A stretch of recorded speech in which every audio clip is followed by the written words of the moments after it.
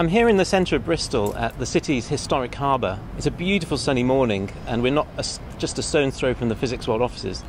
And you might be wondering what on earth we're doing here. But the link is the sun, and in fact, the sun is the cover story in the August issue of Physics World. It's a feature by Ashley Dale from the University of Bristol, which is on the hill just behind me. And he writes about a particularly dangerous solar phenomenon known as solar superstorms. Now, the first one was observed in 1859 by the English astronomer Richard Carrington. And back then, the impact that it had on Earth was very limited.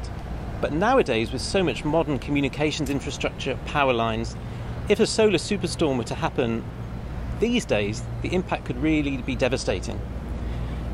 And what happens is that the magnetic field of the Earth gets buckled, inducing electric currents in power lines, and really our way of life could be disrupted very, very quickly. Now, I don't want to worry you too much, but having said that, astronomers think that a solar superstorm of the strength of the Carrington event should occur once every 150 years. Since the last one was in 1859, we're actually five years overdue. In the meantime, here's a sneak preview of, a, uh, of the August issue. So if you want to find out more, please do check that issue out.